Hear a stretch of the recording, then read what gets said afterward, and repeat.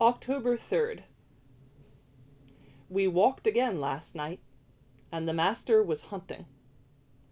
He had donned his cloak and said to me, Snuff, fetch, and from the way he said it, I knew that it was the blade he required. I took it to him and we went out. Our luck was varied. That is, he obtained the ingredients he was after, but only with considerable turmoil and an inordinate passage of time. We were discovered near the end. I gave warning, and we had to flee. It was a long chase, till finally I hung back and nipped the other on the leg. We made good our escape with the ingredients. As he was washing up later, Jack told me I was an excellent watchdog. I was very proud. Later, he let me out to prowl.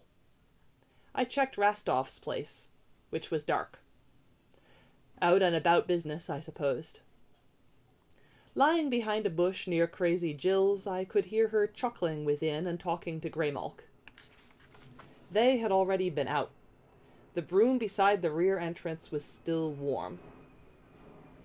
I was especially careful at Morris and McCab's. Night wind can be very potent after dark, and could be anywhere. I heard a small tittering from the nearly bare branches of a cherry tree. I sniffed the air, but Nightwind's gritty signature was not on it. There was something else, though. The small laughter, so high pitched a human might not hear it, came again.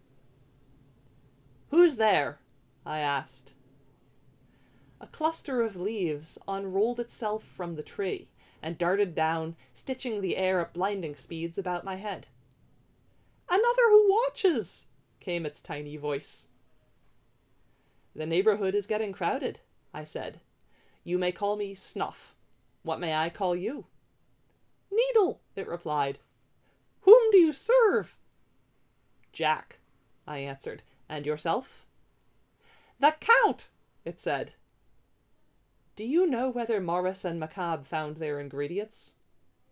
Yes, it replied. Do you know whether the crazy woman found hers? I'm pretty sure she did. So she is abreast of us.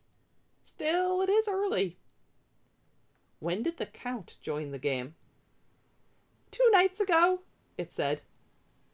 How many players are there? I don't know, it answered.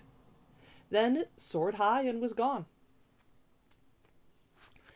Life was suddenly even more complicated, and I'd no way of knowing whether they were openers or closers. As I made my way back, I felt that I was being watched. But whoever it was was very, very good. I could not spot him, so I took a long, long way about. He left me later to follow another. I hurried home to report.